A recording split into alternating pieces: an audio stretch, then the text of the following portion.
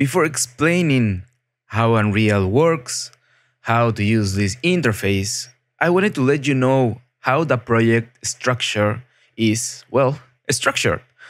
So let's open the folder. If you remember where your folder of the project was created, then open it. If not, you can go to the content drawer, right click on content, and just click on show in Explorer.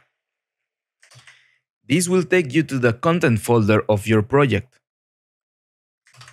Here in the content folder, you will find everything that you are adding to your project or that has been added to your project by either some plugin or a marketplace asset.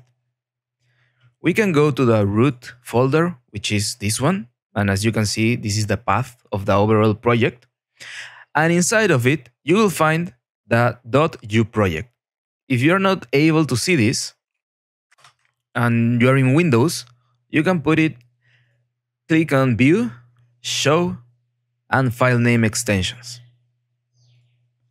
The U project is very important because it stores the information about the version of this project.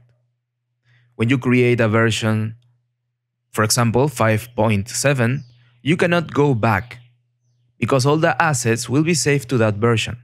And earlier versions of your, of your engine won't recognize because the engine is constantly evolving. But the other way, if you want to upgrade your project, uh, that's fine. That's what usually happens when a new version releases and you test your project to get the new features and the new upgrades that come. Usually comes with better performance. This is just a text file. You can open it by right clicking and just modifying it, maybe in Notepad, and you will see the overall information that this project has. All the plugins that are loading, and if for whatever reason, whenever you launch your project, because you do launch your project by double clicking this, and you see that you don't have a plugin because maybe you downloaded a project from the internet that is using a plugin, you can enter here and just set it to false. Also, if Unreal is correctly installed, you will be able to right click on the U project, and then if you click on Show More Options, you will get these other options launch game, generate Visual Studio project files for projects that are using C++, and you can switch the Unreal Engine version.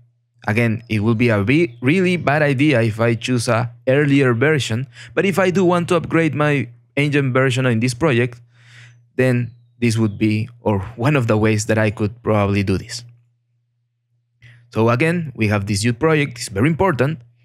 This content folder that is also very important. As we said here, there will be all the things that are added to your pro project, meshes, code, everything, textures. And we also have the config folder that has certain configurations for the game, for the engine, for the input. So those three things are the most important folders. If we were doing a project with C++, you will find another folder called source that are also very important. It holds all the files done in C++ so we can actually build and release our project. These other three folders, I could even delete them. They will get auto-generated when I launch my project. So if you want to share your project, then you do want to delete this because they will get auto-generated again when the project is launched in another machine. In the save folder, you will find things like logs, shader debug info, configurations, temporal configurations, some collections, and if you take screenshots inside the engine, then they will appear here also.